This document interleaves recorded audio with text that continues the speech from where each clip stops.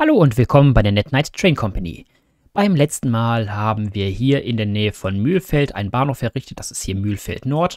Der ist direkt angeschlossen an dieses Eisenerzbergwerk und hier an diesen Wald. Des Weiteren haben wir hier diesen Bahnhof nochmal etwas erweitert. Wir haben hier zwei Gleise, wo noch weiteres Material angeliefert wird. Und zwar einmal von Sonderfurt Waldrand wird Holz angeliefert und auch von Sonderfurt Süd kommt nochmal äh, Holz aus dem Wald. Hier haben wir aktuell 0 Tonnen. Beim letzten Mal, das schwankte so ein bisschen. Also wir waren mal bei 30 Tonnen, jetzt sind wir bei 0 Tonnen. Müssen wir ein bisschen beobachten. Kann sein, dass auch dieser Wald eventuell verschwindet, wenn wir nicht schnell genug ähm, hier Holz schlagen, damit wir dort auch die Produktion ankurbeln können. Ich denke mal, der wird auf jeden Fall weiterlaufen, aber auch mit 184 Tonnen, wenn wir nur einen davon haben, ist das auch nicht schlimm. Der hier hat nochmal 190 Tonnen, da kommt also einiges zusammen. Wenn wir uns hier nochmal die Karte anschauen, wir finden hier etwas nördlich von Mühlfeldmine 1, 2, 3 Eisenerzbergwerke und hier nochmal einen Wald. Da könnte man eventuell gucken, dass wir hier einen Bahnhof hinbauen und das nochmal anliefern lassen, dass wir das darüber laufen lassen. Das wäre eine Option. Da könnte man hier hochbauen, irgendwie nochmal einen Half Transmogrified hinsetzen, der hier weiter nach Norden führt und einmal nach Osten rüber, um das anzuschließen. Und dann können wir mal schauen, wie wir da noch weitergehen wollen. Hier hinten haben wir noch ein bisschen was zum Anschließen. Wir könnten hier bei Nienbrück, wenn wir da einmal, na nicht weiter raus, sondern rein, äh, hier könnten wir noch mal anschließen. Die könnte man eventuell mit äh, einem Bus noch mal verbinden. Aber hier haben wir auf jeden Fall eine Bank. Von daher bietet es sich vielleicht an, Nienbrück noch mal als Standort zu erschließen. Aber ich denke mal, wir fangen erstmal hier oben an. Wir fangen hier an und bauen unseren Half Transmogrified, den wir hier drüben hinsetzen. Und dann schließen wir das hier drüben an und das hier. Okay, wir haben hier so ein bisschen das Sägewerk im Weg. Da wollen wir so ein bisschen drumherum bauen. Ich gucke mal, vielleicht können wir die ein bisschen hier rüberziehen, dass wir dran vorbeikommen. Darum gehen wir mal in den Landschaftsbau.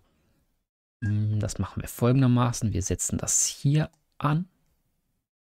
Ach, ich kann. Es ist schon flach und ich wollte ja auch hochbauen. So, darum die Fehlermeldung. Das wäre das hier.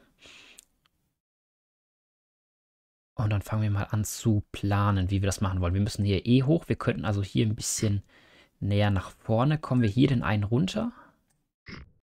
Ja, das würde gehen.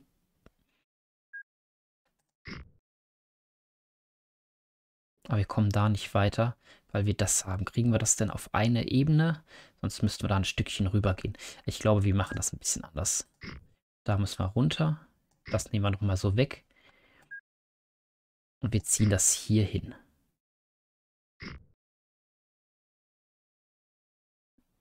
Da baue ich nämlich einen Tunnel hin. Wir müssen da runter. Kommen wir denn da? Das würde funktionieren. Jetzt die Frage, kommen wir mit dem Gleis dorthin?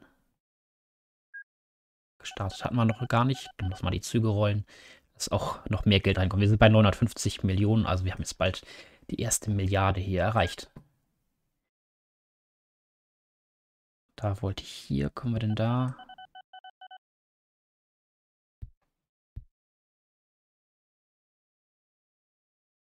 Wir kämen bis dahin.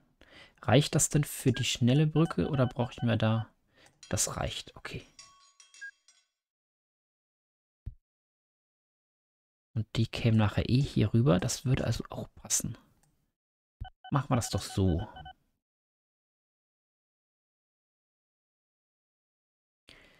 Die Frage ist, passt das, wenn wir jetzt hier unten drunter durch wollen? Wir müssen da eh wieder hoch. Dass wir den einen... Das, das wird jetzt interessant zu gucken, aber ich glaube...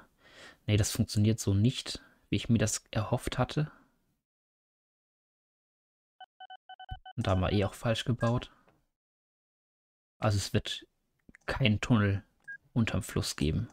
Müssen wir doch anders machen. Aber das so rüber ist auch nicht schlimm.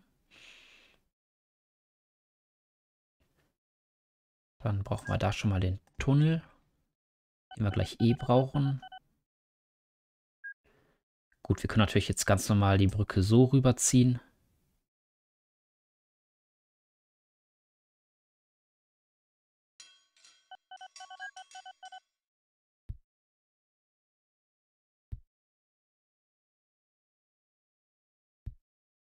Das war eh, um da rumzufahren. Aber wir wollten hier auch eventuell wieder rauskommen.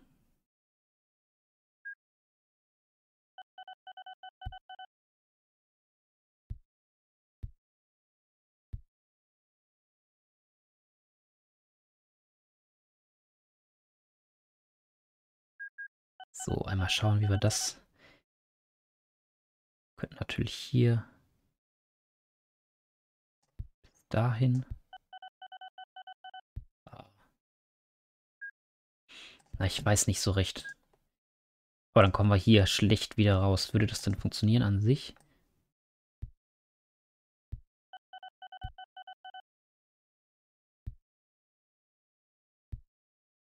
Ja, wir kommen halt hier auch nicht rüber. Ja, vielleicht lassen wir den Bahnhof einfach so, dass wir dort nur reinrollen können. Dann ist das so.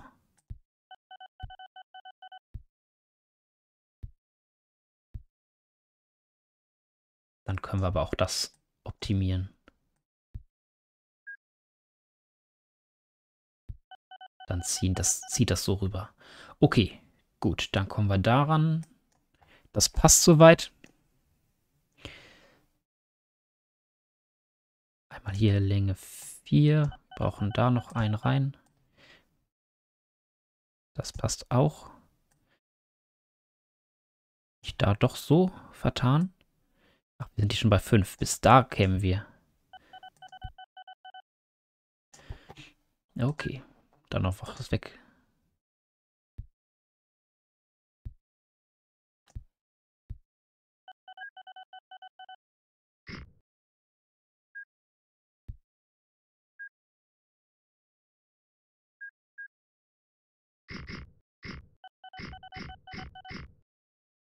Ich hab's heute aber auch mit dem daneben klicken.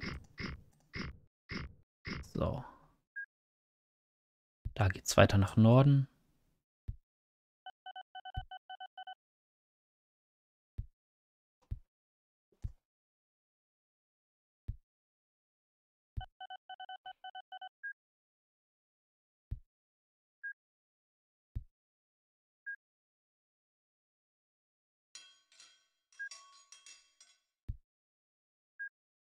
Okay, das hätten wir soweit. Hier dürfen die Züge so reinfahren.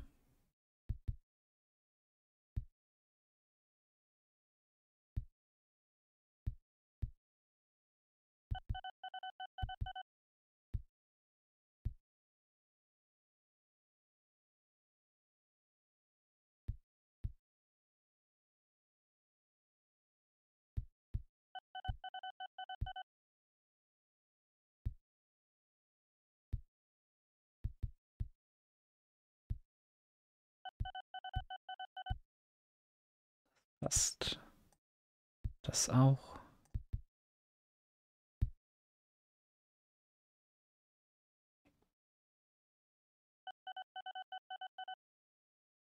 Okay. Hätten wir das angeschlossen, dann können wir hier drüben gucken, wie wir das dann anbinden. Da können wir am besten das ein bisschen wegnehmen, dann können wir da geradeaus runter.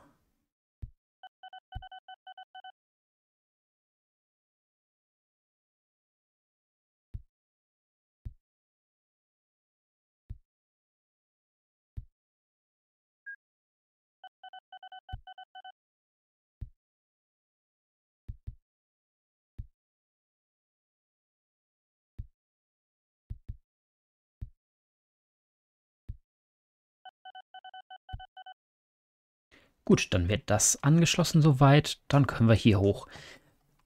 Und ich habe mir hier überlegt, dass wir da einen Bahnhof setzen, den wir hier hinbauen. Und wir dann hier dieses, das hat nämlich, glaube ich, ein bisschen weniger mit 30. Da haben wir 72 und hier ist auch nochmal, glaube ich, ja, mit 50 Tonnen nicht ganz so viel. Dann bietet sich das an, das so zu machen. Also, ich will da folgendes bauen. Bahnsteiglänge, das passt. Wir haben zwei, also sollte man mindestens vier nehmen. Genau, ich will hier vier haben. Das bauen wir so. Ich will da die Strecke dran vorbeiführen.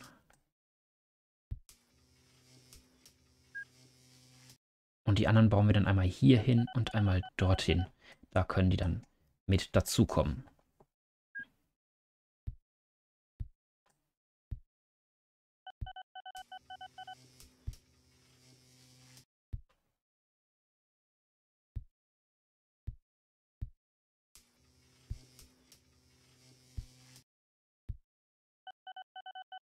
So, der wird weiter in die Richtung laufen. Der kommt dann da dran. Also weit brauchen wir gar nicht, das reicht bis hierhin. Der muss gar nicht auf die andere rüberkommen, die sollen eh nur in eine Richtung fahren.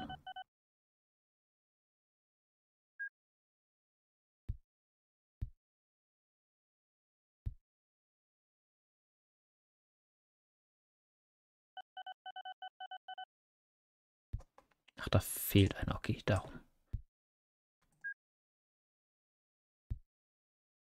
Jetzt sieht das so aus, wie ich es gern haben wollte. Dann brauchen wir noch ein paar Depots. Eins hier und eins dort. Dann wäre das errichtet. Hm, die Frage, wollen wir in die Richtung nach oben hoch? Was bauen wir denn hier? Gut, wir könnten natürlich hier nach Norden hoch. Vielleicht bauen wir einfach nochmal einen Half Transmograph, äh, kein Half, einfach nochmal ein, ein Cloverleaf, denke ich. Das sollte hier passen.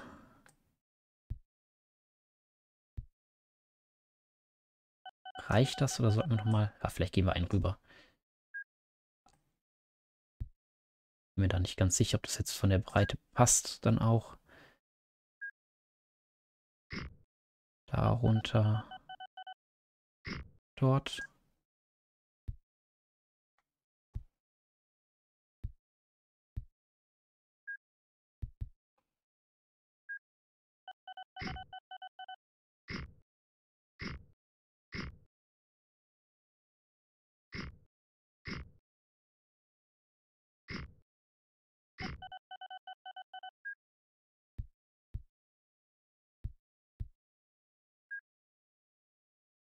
Die gehen hier einen hoch und dann darüber jeweils. Das passiert hier auch.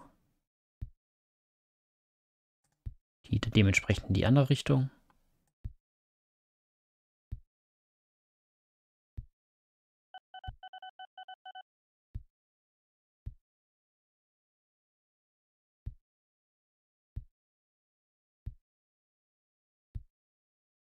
Okay, dann müssen wir hier raus. Immer in Zweierschritten. Gut, theoretisch könnte man das auch größer bauen, dass man das in, ich weiß nicht, ob man in Dreier hinkriegt, aber dann müsste man das wahrscheinlich weiter hinten ansetzen. Aber so funktioniert es eigentlich ganz gut.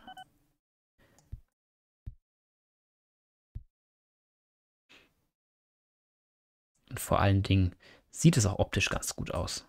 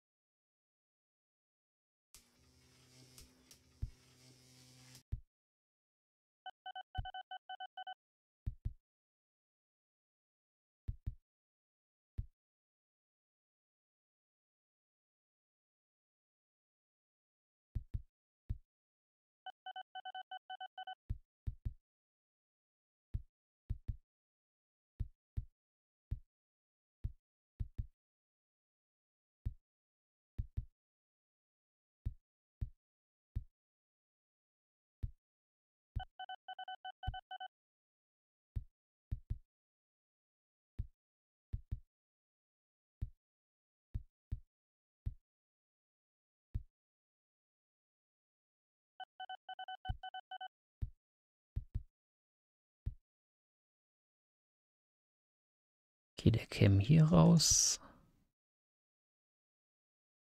Nein, andersrum fährt der. Der käme hier rum. So. Und dann säße das da.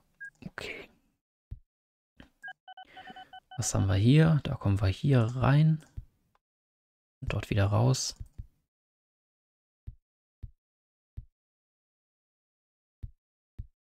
Wobei, die haben wir da gesetzt.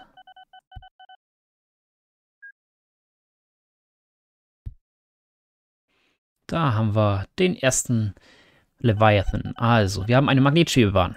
Das heißt, auch damit können wir jetzt bald mal anfangen. So, da wollen wir hier lang. Dort kämen wir... Nein, da kämen wir raus. Das heißt, wir müssten hier lang. Haben wir denn alle richtig rumgebaut. Der geht hier lang. Der käme da lang. Der läuft so lang. Das passt. Und der läuft hier unten durch, beziehungsweise der kommt hier rum, um da reinzufahren. Okay, das sieht ganz wunderbar aus. Ich denke, das haben wir soweit. Dann können wir mal hier in die Richtung runterbauen. Wir sind, glaube ich, ziemlich, ziemlich nah dran.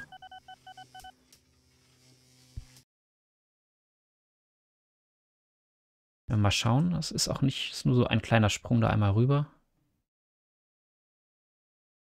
Ah, will heute nicht. Einmal so. Jetzt passt's.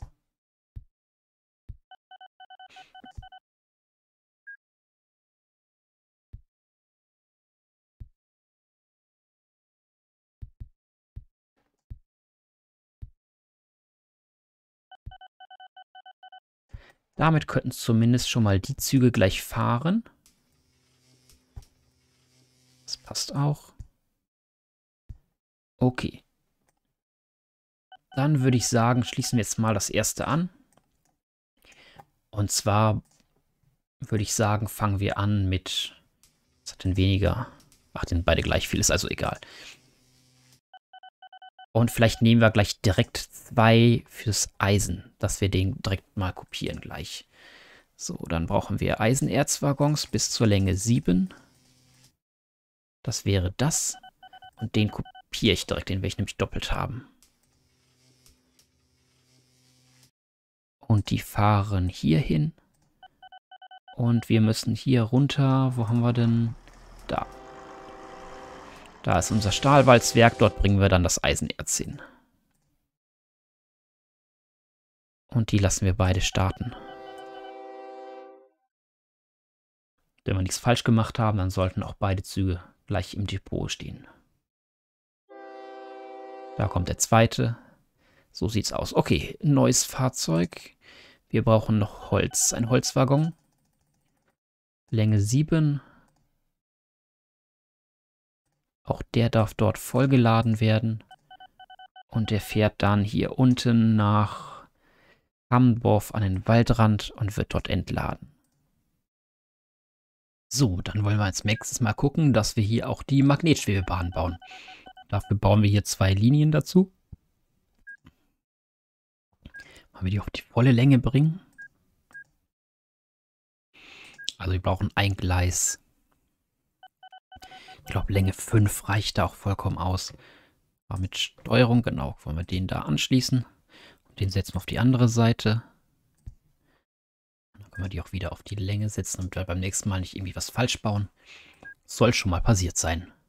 Weil stopp, wir brauchen ja eh nochmal die... Den setzen wir so. Und wir brauchen einen hier unten. Setzen wir den hier. Den setzen wir so. Falsch.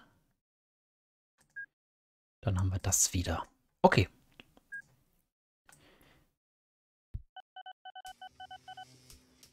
Na, wie können wir den denn am besten setzen, dass wir... Kommen hier an. Kommen wir denn darüber? So passt das. Okay.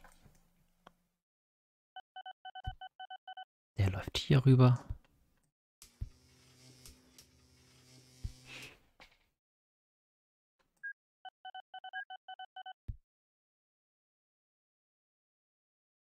Und den setzen wir dorthin. Okay, damit haben wir die soweit gebaut. Und jetzt sollen die dann auch entsprechend das Eisenerz rüber transportieren. Also wir nehmen den ersten und wir brauchen Eisenerzwaggons und wir wollen auf die Länge 5. Einmal nach Nordstadtmine und dann rüber nach Freiberg-Waldrand zum Vollladen und dort laden wir um. Da rollt er. Oder schwebt er besser gesagt. Der erste Leviathan.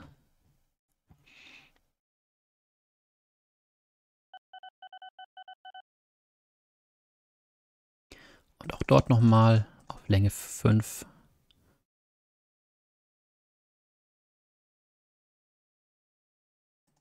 Vollladen und umladen. So, habe ich das denn auch richtig gesetzt? Ich bin mir manchmal nicht sicher, ob ich es auch getan habe. Es ist auf Unladen. Okay. Gut. Wäre das aufgebaut? Schauen wir mal weiter. Was wollen wir denn noch machen? Wollen wir hier schon mal direkt was anbieten? Oder wir könnten natürlich auch gucken, dass wir hatten ja hier überlegt, dass wir hier die Stadt anbinden. Hm, wie könnte man die denn schick anbinden, die Stadt? Wir wollen ja darüber. Hm. Gut, wir könnten natürlich hier lang legen. Halt, wir sind noch auf dem falschen, wir brauchen die Strecke. Wir könnten die so querlegen. Das heißt, die fahren hier lang raus. Dann müssten wir eventuell hier nochmal so einen kleinen Haken rüber machen. Aber ich glaube, das wäre gar nicht so schlimm. Denn sonst muss ich da so viel wegnehmen. Und man könnte gegebenenfalls nochmal hier Herzdorf selber mit einem kleinen Bahnhof verbinden. Aber ich würde eher hier Nienbrück mit einem großen Bahnhof versehen. Und das dann so erstmal bauen, weil wir haben ja hier auch die Wertsachen, die wir hintransportieren können und die wir dort auch abholen können. Von daher ist die Stadt auf jeden Fall wichtiger.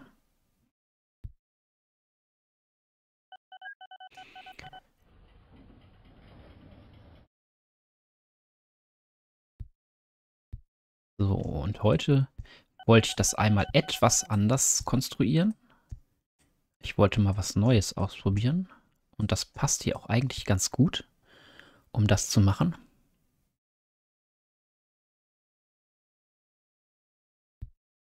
Frage ist, wie weit müssten wir denn darüber, um das so zu bauen?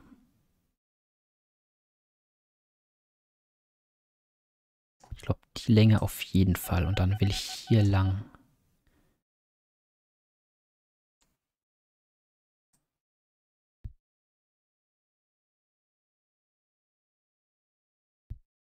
Rüber. Na, die Idee ist nämlich, die gehen direkt da drauf. Das wäre raus. Und hier will ich rein. Und ich werde das hier mit einem Tunnel versehen. Dass sie da drunter durchfahren. Ach, wir müssen runter. Okay, so und so.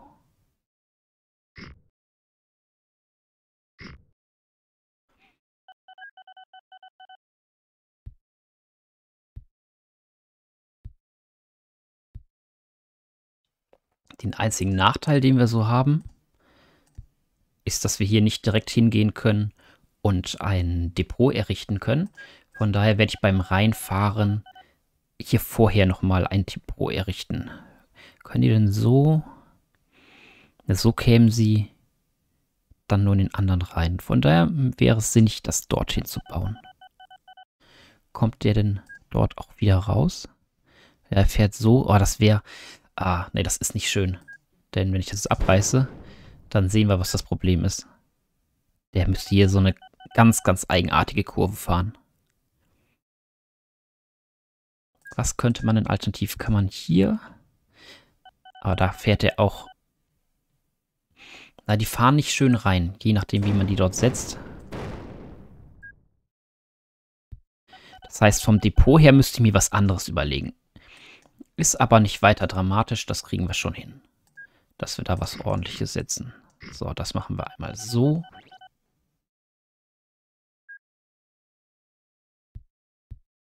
Der kommt hier hoch. Und die können wir ein bisschen wegnehmen, also auf der gleichen. Genau. Den ziehen wir bis hierhin und lassen ihn hier hochfahren.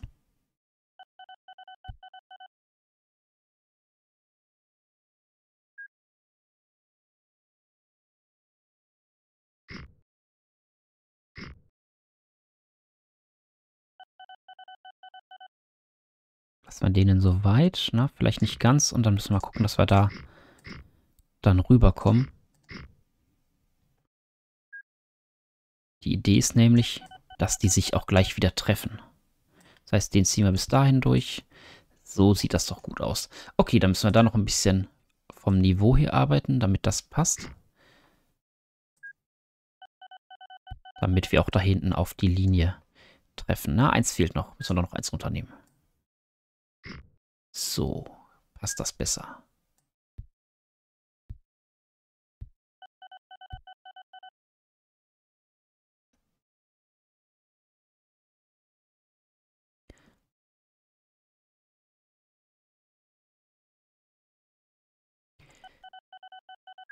Okay, wir könnten jetzt natürlich hier, das wäre jetzt eine Idee, das folgendermaßen machen. Und das würde bis, ne, nicht so weit, aber es würde so weit laufen. Ah, nicht umwandeln. Ich wollte da noch was wegnehmen, das Stückchen hier. Das braucht man nämlich nicht.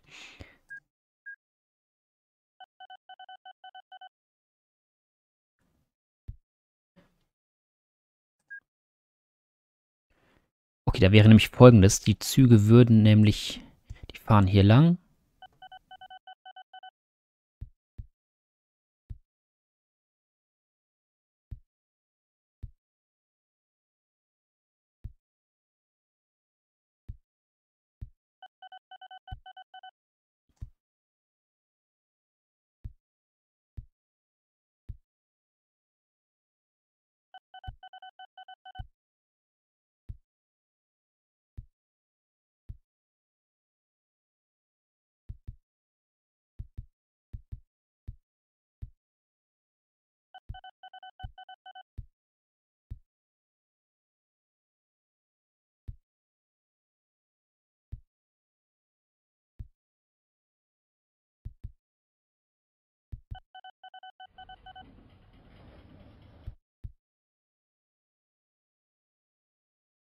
So, und die schauen wir, dass wir die parallel dazu bauen.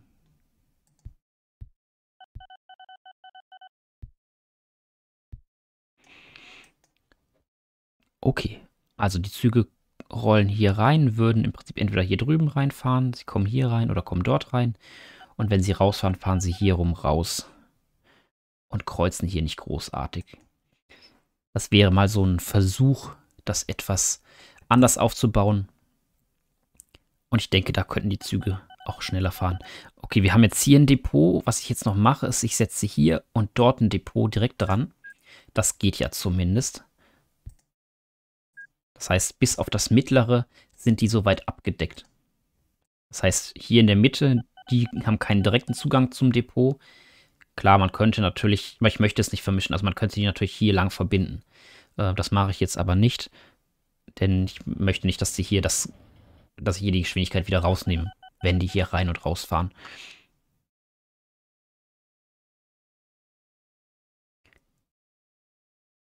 Aber wir können jetzt auch schon mal direkt einen Zug dafür errichten.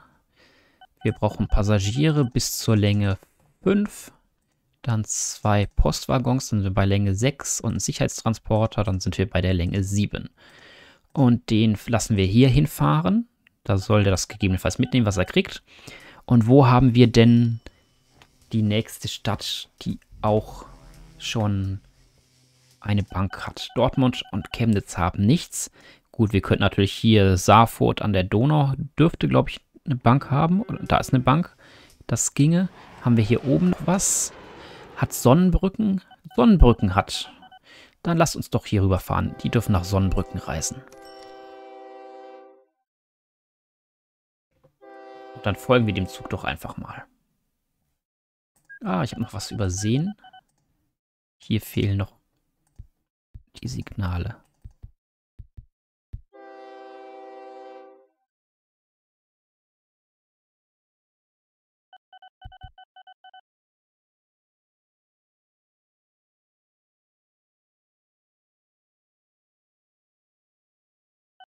Ich glaube, die haben eine schöne Strecke vor sich.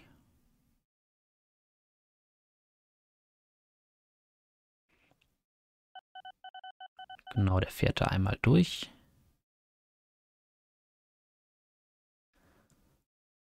Das klappt doch soweit ganz gut.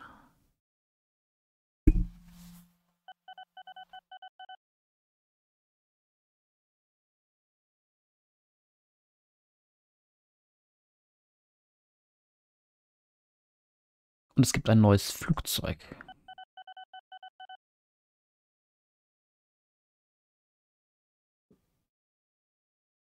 Dann kommen wir einmal hier an Dortmund vorbei. Dann sehen wir, ob das alles ordentlich rollt. Das klappt auch. Da kommt auch ein Zug zurück. Der holt wahrscheinlich Holz ab. Das sieht nach Eisenerz aus. Auch die scheinen gut zu fahren.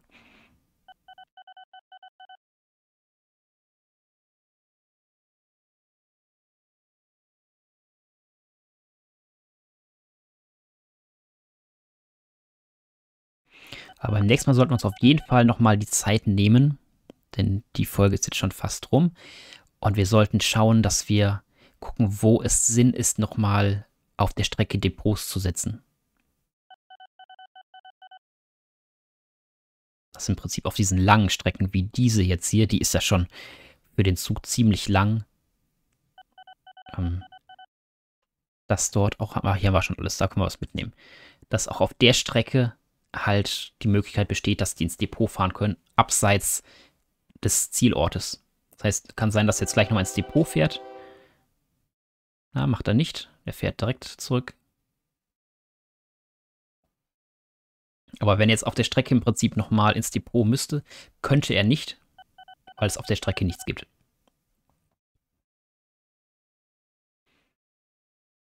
Jetzt schauen wir uns noch einmal den Rückweg an, dann sehen wir, wie viel wir damit auch verdienen.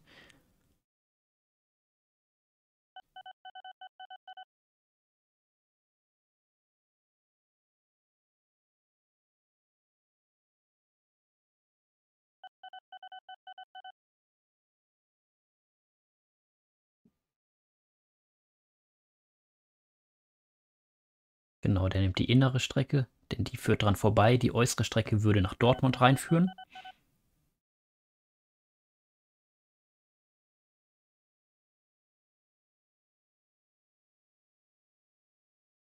Aber wir könnten ja vielleicht noch eine direkte Verbindung nach Dortmund schaffen.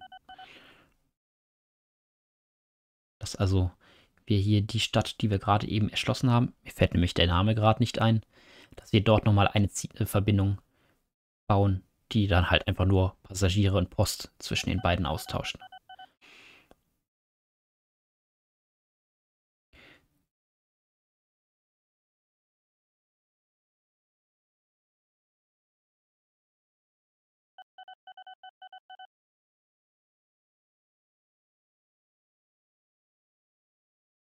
So, er fährt hier ins Depot. Ne, er fährt dran vorbei.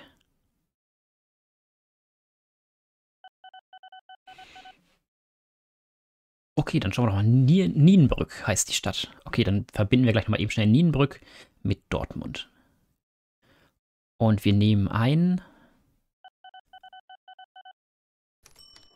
144, fast 145.000 Euro. Das ist doch ganz gut. Lassen wir den von da oben starten? Ja, können wir machen. Also wir brauchen nochmal den Zug. Wir nehmen 5,5. Ne, wir nehmen 6 und zweimal Post. Das muss reichen. Also zwischen Nienbrück und Dortmund wird dieser Zug pendeln.